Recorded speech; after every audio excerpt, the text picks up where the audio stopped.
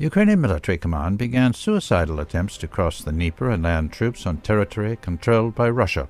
On January 24th at 5 a.m., Ukrainian militants on five boats tried to attack Russian positions near the village of Korsunka, located west of Novaya Kakhovka in the Kherson region. The main intelligence directorate of Ukraine proudly showed some footage of the operation, stating that as a result of a successful operation, the command post of Russian troops was destroyed. According to Ukrainian intelligence officers, the Russian command immediately sent in combat reserves, including special operations forces, aircraft, and armored vehicles, but could not stop several Ukrainian boats. However, Ukrainian intelligence did not show the work of Russian units in its video. Russian military sources immediately denied these reports from the Ukrainian side. It turned out that three Ukrainian boats were sunk while still in the water. Ukrainian forces that landed on the eastern shore were almost completely destroyed. A shooting battle broke out. The Ukrainian military came under MLRS fire and returned to the West Bank with losses. The facility, which was declared by Ukrainian propaganda to be a command post, turned out to be a shed at the boat station.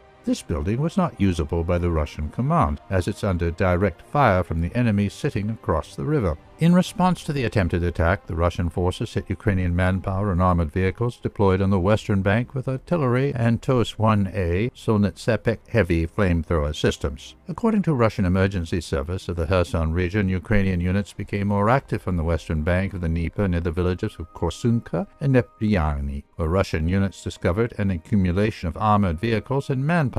Ukrainian reserves were hit by Russian artillery. As a result, three boats, six infantry fighting vehicles, and about 100 Ukrainian soldiers were reportedly destroyed. The acting governor of the Kherson region, which has recently become part of Russia, said that the Ukrainian military regularly attempts to force across the Dnieper, but the entire floodplain of the eastern bank is controlled by Russian forces.